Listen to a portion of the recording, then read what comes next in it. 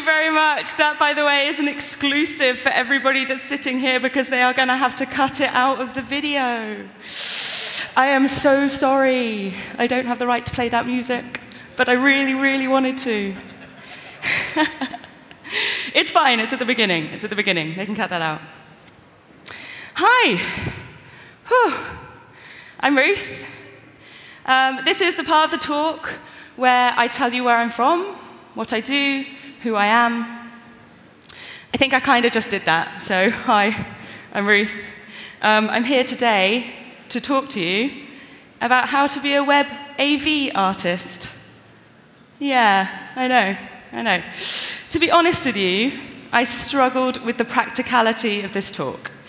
Um, I'm going to be talking to you about Web Audio API and Web MIDI API, and I'm not sure how many of you are going to go back into work on Monday and put the Web MIDI API into your website.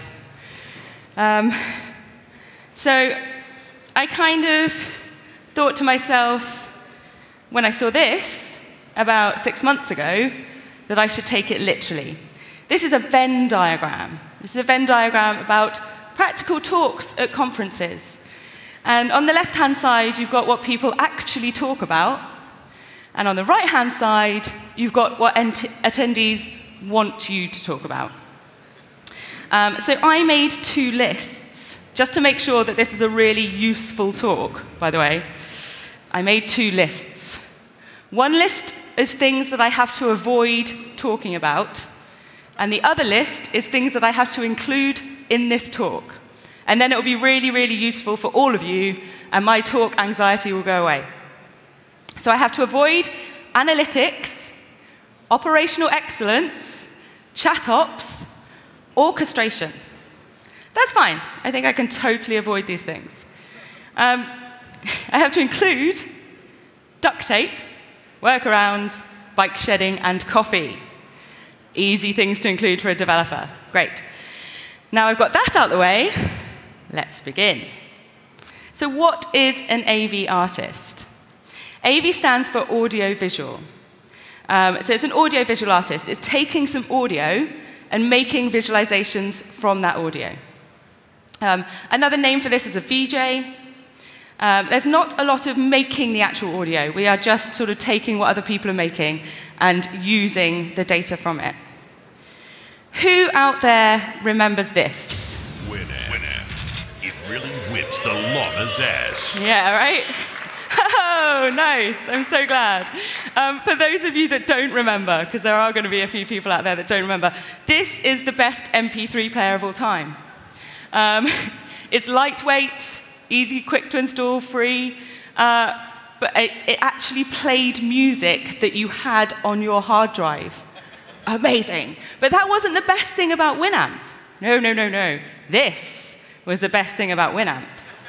It had this visualization engine. So you could play your music and then whip up these visuals, and they would go in time to the music, and you could just sit and watch this for hours, right?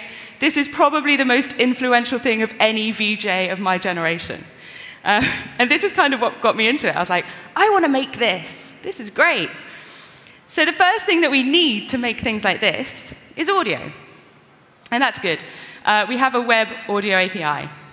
Um, and that gets us audio. It's great. There's four main ways you can do it with the Web Audio API. I'm sure we've come across some of these. You can create sound yourself. So you instigate an oscillator, and this creates a sound wave. And that's going to create you some sound.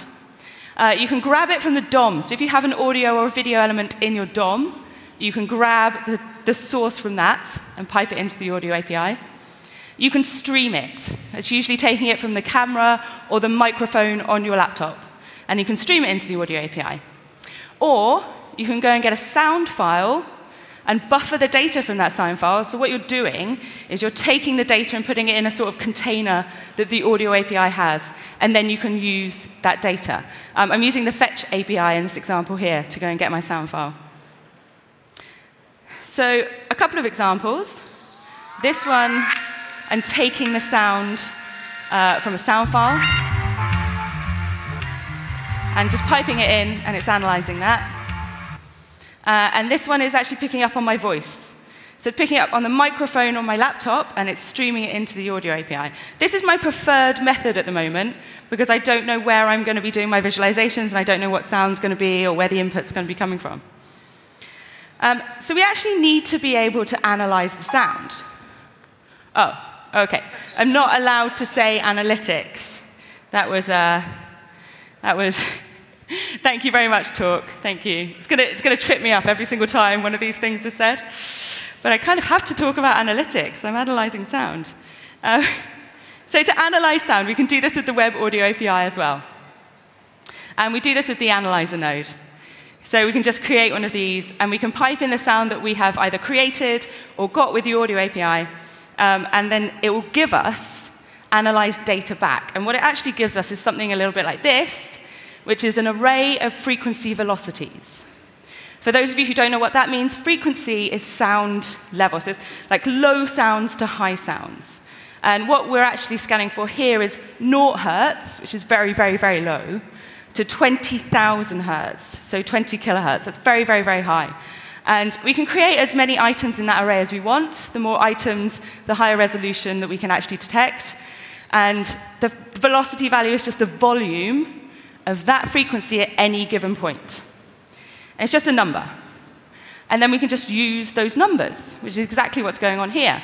This is just a bunch of I elements, and I'm taking that data value, that velocity value, and I'm making it the height of those I elements. It's really rather straightforward, just looping over them and changing some properties. Great. We can all make visuals, and my talk is over, and we can go for an early lunch. we could actually do some more complicated stuff. But it is relatively easy, and we're just using HTML, CSS, and JavaScript just to do something that's actually quite cool. Um, so I thought, I wonder how far we can take this with just these technologies. And I started a bunch of experiments. Now, everybody knows when you start experimenting, you need some inspiration. So this is my first inspiration. This is Bridget Riley. She's a super cool artist. Said so on the slides. Um, I actually discovered her at Scotland JS last year. I went to the art gallery in Edinburgh, and she had an exhibition there, and she does these massive, massive paintings of shapes. And I was like, this is brilliant. I'm going to visualize her paintings. So I did that. So this one is just a bunch of divs, and it's all just positioned with Flexbox, and I'm just taking up more or less room depending on the data, depending on that frequency data I'm getting back. It's quite simple. And then this was another one, which is just showing and hiding some triangles based on that data. If I go quiet, they all disappear, and then they all come back. And this is just, just simply stuff in the DOM. And of course, if we're using things in the DOM, we can try and instigate some lovely CSS. Because I'm at a JavaScript conference, so I thought I should bring in some CSS. I thought that would be a really, really good idea. Transforms are cool. Uh, with visualizations, I really feel like you could do uh, some symmetry. If I could take what's ever in the DOM and replicate it and reflect and rotate it around just with a function, then I could do that with whatever I have in the DOM. And that would be great. That'd be a really cool thing to bring into a set. Um, so I did that.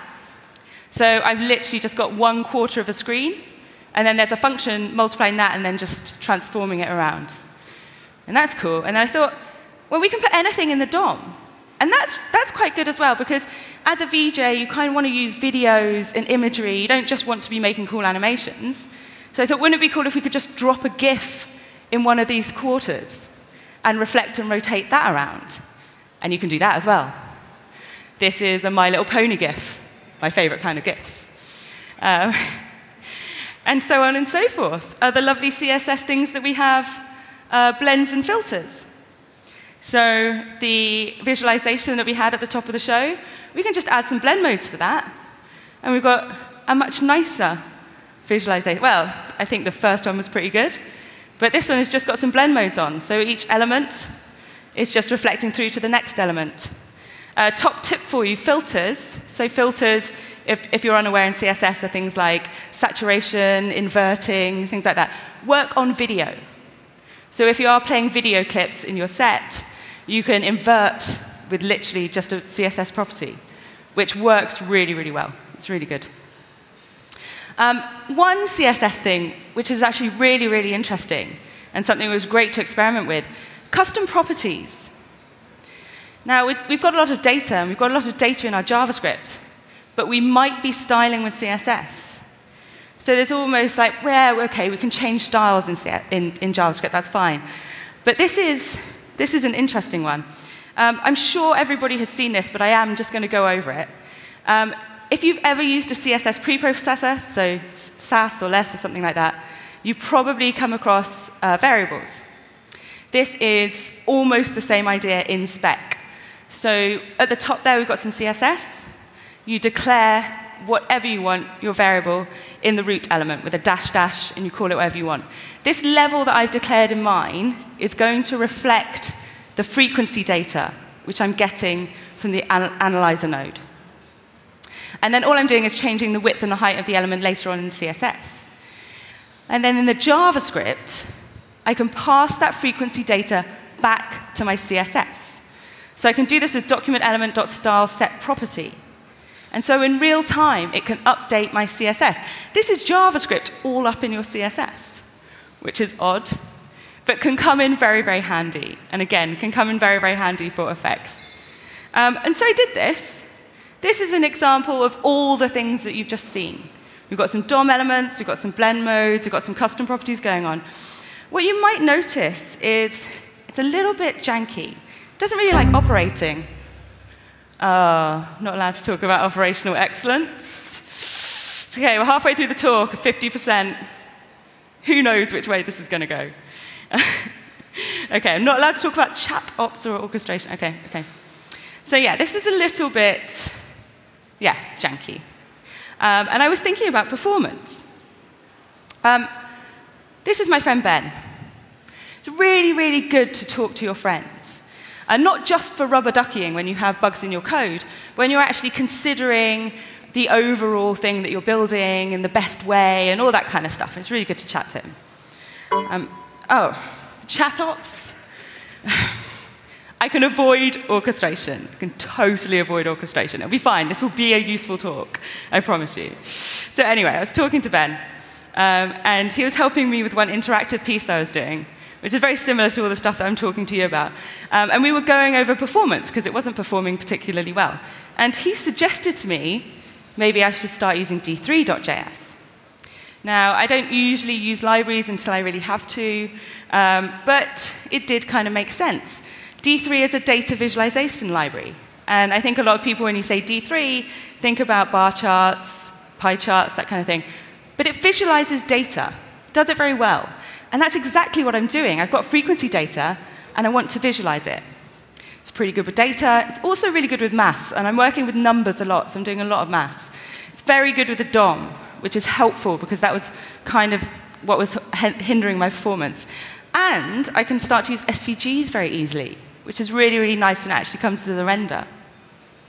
So thus begins experiment number two. This is my inspiration for experiment number two. This is called Supergraphic by Tim Leong. Um, it basically charts data from comics and graphic novels. It's a really, really lovely visual book. Um, and so stuff like this started happening. So this is a basic sunburst chart, but it's just picking up on my voice, and it's just making a nice visualization. Oh, it's coming up on all the screens. Oh, yay, that's super cool. I, I quite like screens and projectors, you might have, you might have guessed. and things like this, which is also lovely. And there's quite a few, so we can sort of reimagine the spectrum that we saw earlier. Uh, and we can have circles instead. And that can be a nice thing to be mixing into a set when we actually get to the end and we do that. Um, this is one of my favorites, actually. It's just a nice little circle, nice little rainbow colors. Um, I want to just for a second go back to analysis. Um, and this is just before we have lunch, engage brain. I'll try and make this make sense. Um, if we take this array of frequency velocities that we were talking about at the beginning of the talk, um, there is one thing about it. It goes from 0 hertz to 20,000 hertz. 20,000 hertz is very high. We're going to hear it, but music probably is not going to get that high. This is a keyboard or a piano. This is where it sits on that frequency scale. It only goes up to about 6,000 hertz. Now, I'm not accurately trying to visualize notes. All I'm trying to do is give the experience of a nice visualization based on music that is being played, right? So I can use this as a guide. And I can think, actually, that kind of top part of the array, I probably don't need that. It's probably not being used in music that we listen to. The other thing to note about this array is it goes up in even steps. So each item is going to be like an even step of the last one. That's not how notes work. So this is a keyboard. I've highlighted some keys A on a keyboard. Keys are denoted in letters A to G, um, and they start again, so an A and an A are octaves apart. And we say octave because there's eight notes in between, there's 12 semitones. And the two A's sound very, very harmonious if you play them together, even though one's lower and one's higher. So this middle key here, this orange key, this is A. This runs at 440 hertz. The one below it, the purple A, runs at 220 hertz. That's a 220 hertz gap. The one above it, however, the green one, runs at 880 hertz. So that's a 440 hertz gap. So the gaps are actually doubling. They're not equal, they're doubling. So to get a better analysis from the data that we have from the audio API, we kind of want to do something like this. I'm going to slice the array, kind of don't need that data, there's no point in me having it, and then I need to spread it out. Yeah. So magic function, too close to lunch, won't go through it, is on the internet. I wrote an article about it. It is basically doing that. Slicing the array, we're doing some averaging, we're pushing all this new data back into the array. Someone's taking a photo, I'm just going to do it. I've got seven and a half minutes left. Um, and I've got a couple of examples for you. So this is, let me just, here we go. This is a visualization before I do anything on the data. And you can see it's quite heavy towards the right. So this is where the analyzation starts, is on the right. Um, afterwards, after we've run the function, we get something a little bit like this, which is much more spread out, and I think works as a better visualization. And also, it's going to be good if I want to do anything like low, mid, or high frequency detection, because I can do it on data that actually represents the music that's playing, not the data that we're getting back from the audio API. So we have visualizations. That's the crux of it. You can all go away and make visualizations now. That's great. Um, I did Codevember last November with all these experiments in. They're not the final versions that I really use, but it was really good to experiment. So you can go on um, CodePen and have a look. Um, one last thing, checking my time here. How do I control these visuals? That's important. I'm going to be playing sets, and you're probably going to be playing sets with DJs and musicians, and they're going to be controlling stuff with lots of you know, decks and things like that. So you don't really want to be sitting here pressing your keyboard. You can control visuals with your keyboard, that's absolutely perfectly fine, but you kind of want something a little bit cooler. I tried the Gamepad API, um, but the Gamepad, it's kind of a little bit funky, and there's not enough control with the Gamepad. So I settled on this, this MIDI API. Um, MIDI is a data protocol. I know when I say MIDI that people think of 80s bleepy music. It's not. It's a data protocol for instruments to talk to each other. So it came around about 1983, and some in industry experts and mu music manufacturers got together because there was a rise of electronic, electronic instruments in the 70s. And they thought, wouldn't it be nice if all these instruments could talk to each other? They're electronic. They could probably send data to each other. Um, and so they did. and They came up with the spec, MIDI. This is a MIDI instrument. The big difference between a MIDI instrument and what I'm just about to show you is this has onboard audio. This is a keyboard. You've probably seen them. You've probably played them. I can plug this into my computer, and it will send my computer MIDI data. But it also plays audio standalone. It can also talk to all the other instruments and kind of orchestrate with those. Oh. we are so close to the end of the talk as well. Useless talk. Never mind. Never mind. Ha, ha. Uh, MIDI instrument. Uh, the big difference between this and what you're probably more likely to see and want to use, which is this, is this is a MIDI controller. This doesn't have any onboard audio, but it's still sending MIDI data. So if you plug this into your computer and run some code like this, which is the Web MIDI API, you can pick up on the data it's sending, which again is just numbers. And that's really cool. Um, there's lots and lots of different MIDI controllers out there. Um, and if you search for them, uh, you, it will come up with loads of them. And I recommend buying them and trying out that code because it's really fun. This is my MIDI controller. This is a Minim. This is my little one carrying around in my handbag. Uh, this is actually running via Bluetooth to my machine. Usually you'd find uh, MIDI instruments and controllers running via USB. They used to run via DIN, which was an old fat round cable, which I'm sure some of you remember. Um, and I can use this to control my visuals.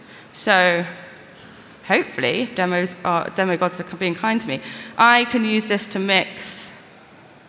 It's working in here, but not in there. Hang on. Let's see if that one will. no, it's not happy today. Um, I can use this to mix my visuals and change them. So I can attach all the different things that I've made onto the different buttons um, and then choose which ones come up at different times. And then I can mix from one into the other, which is great. Whew.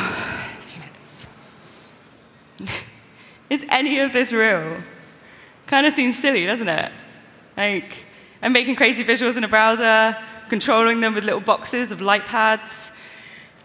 This is me. Um, I have a little pocket projector so I put my laptop and my MIDI controller and uh, my pocket projector in a bag, and I kind of hacked the bag so that you can unzip it and have the projector out the bottom and carry it around like an usherette tray. So you can actually play music and project onto things as you carry it around. And this is me projecting onto the streets of my local city. And I did this, I made this thing. This is running the software which I wrote, um, all in a browser. And some people started talking to me on the internet. The internets are good. And things like this happened. So there's a whole bunch of us doing similar things, taking web technologies and building things with it. They build music software with JavaScript. They control lights with JavaScript. I don't know whether you saw nested loops at the beginning of this, of today. One of the guys, Martin, was controlling all the lights via DMX with JavaScript. Um, Live.js.network, if you want to look us up. We have a stand uh, by the community area where we have lots and lots of MIDI controllers and we have all of this stuff going on. All the music that you hear between the breaks, that's us. And stuff like this happens on the internet. I mean, we've got a GitHub organization. Gotta be real. If you've got a GitHub organization, right? That's like badge of reality right there. And we all play gigs. Like not just together and not at conferences, but we actually play gigs, which is crazy. So you do my day job, you can go and play a gig. Madness. I got to play a festival over the summer. Okay, there is one thing that I really, really want to address before I go. That's this. See, I, I don't think that uh, my talk really picked up on what was really going on. And I'm sure you guys did. Right? The keen eyed among you will realize. Uh, sound? No? Okay. Uh, there is duct tape holding the portable VJ kit together. Of course there is. Duct tape holding everything together. Ben is on a bike. Yes. Still more sound. this whole function is a workaround. Yeah. And drinking coffee. I know. Thank you very, very much. All the music that you heard was by Kanoa. I, I recommend you Look her up on SoundCloud. I'm Ruth John. You can find me on the internet. Come and talk to me over there.